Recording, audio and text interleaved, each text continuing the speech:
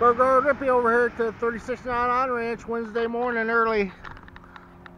Somebody out for a little cruise in the airplane this morning.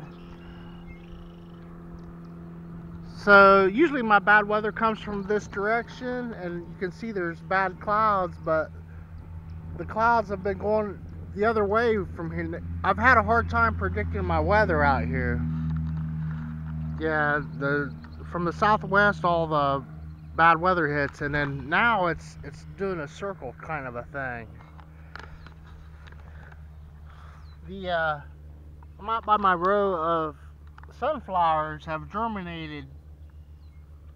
I have successful germination of the sunflowers. This one here, um, a red-winged blackbird had one for a snack, which I have plenty to share. I have a lot of mixed hay here, done beautifully absolutely gorgeous. One record day after another of high temperatures. Quick look at the California poppies. You can see how uh, a lot of them have lost their petals.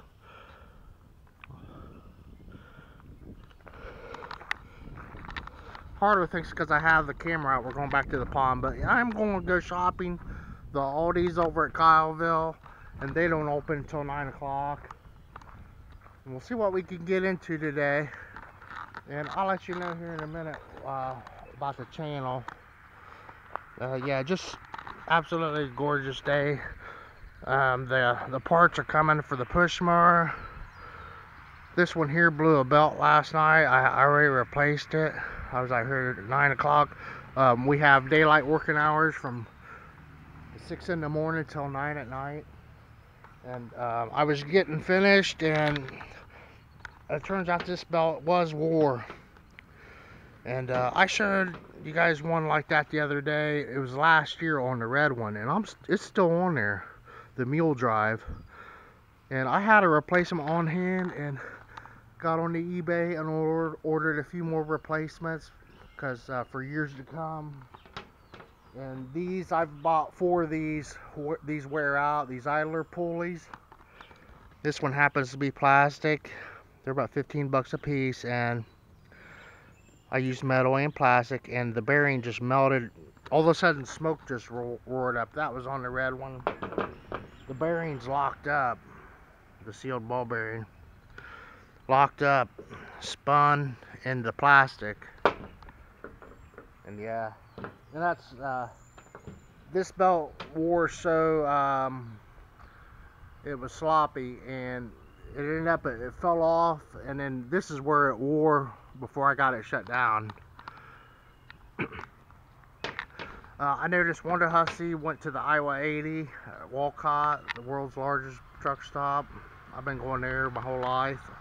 Uh, something wasn't right with her that day and uh, they even spent the night and afterwards she left Barry and said he was a nice guy but he was odd and, and you know she's not perfect either but something happened in that trip where she's a woman that walks 20 miles uh, on hikes and things and she just barely made it around the Walcott she didn't even make it upstairs which uh, Pamela Lamb did a video there and she did a load of uh, laundry while she was there and stuff Sarah didn't make her way around the facility. The facility was closed, the museum wise, and they were set to open the 21st, which was I think last Thursday.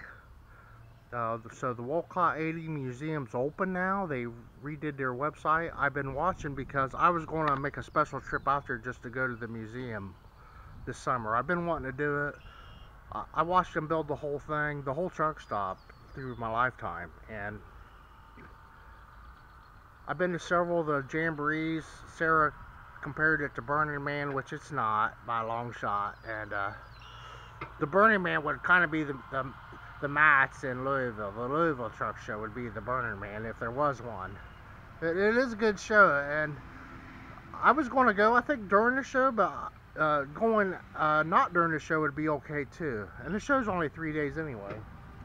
But this year, they're going to somehow try to do a virtual um, I was going to say Louisville Truck Show, a virtual Walcott I, Iowa 80 Walcott, Iowa 80 Truckers Jamboree, they call it. It's the 44th annual one, I think, or 41st, I'm not sure, but they're going to do it virtually. So that's where I'm at on my channel. Uh, I'm out here, boots on the ground, working on this stuff. And we're going to find a way on the channel. I've run the channel long enough to where I, I know what it takes to run it. And to produce a couple videos a day. But I've never seen this before. And uh, would still like to make it. It's uh, Walcott's 500 miles each way from Columbus, Ohio. So my trip to Iowa was going to be a, a I, I don't know. It's just it's not happening, man. It doesn't exist, and I've never seen uh, festivals canceled. But this is a website here, and I have people ask me all the time, used to, and how do you find out about where to go? And for two years, I've I've used. I said I Google it, and you don't cancel a festival ever, and here's a big COVID warning. I mean, I'm so anxious to put this behind us. But this one's virtual. And I mean, a lot of these places, if you, uh, every day they open up, they lose money, which is anti-business. But canceled, canceled. That's this weekend. Through the month of June everything's canceled. And then into July, everything's canceled, and even into August.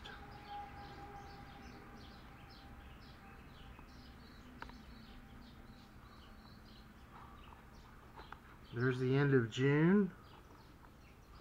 And and into July, the 4th of July, my favorite holiday of the year, I mean, you would never see one of them canceled. Uh, Yellow Springs, um, I had to take down my video on the comedian guy's house. Only 400 people watched it anyway. Um, yeah, I had a complaint on a video. I, have been trolled. Uh, I, I, think it was a, uh, anti-Rippy hate group attack and uh, yeah. Uh, just a click of a button fixes that stuff. Here's the Mechanicsburg town party for the 4th of July. It's a week late and uh, but what's been happening is the ones that aren't canceled it gets right up to the last minute and then it goes red. And that's what happened to Saturday. I had the car show lined up or, or no it was Monday. I'm sorry because of the holiday. And there at the last minute it went red. And my brother still went. I never talked to him about. I bet you he had a good time too. But they did cancel the show. And i do not want to get sick by any uh, means of the imagination. Uh, so uh, i've never seen a, a, festival canceled. And they canceled all my festivals. And I, am not sure which way the channel will go. But uh, it, um, yeah, I've dealt with bigger, bigger and better fish to fry here. That's why I need to order some more blades here. I've done a couple blades, and uh, the crops are going in big time. As you can see, I'm gonna have a beautiful row of sunflowers there. It looks, and uh, have a great germination, and uh, just uh, really enjoying the summertime and these uh, hot temperatures, man. It, it's, it's freaking awesome out here. Thanks for watching, everyone.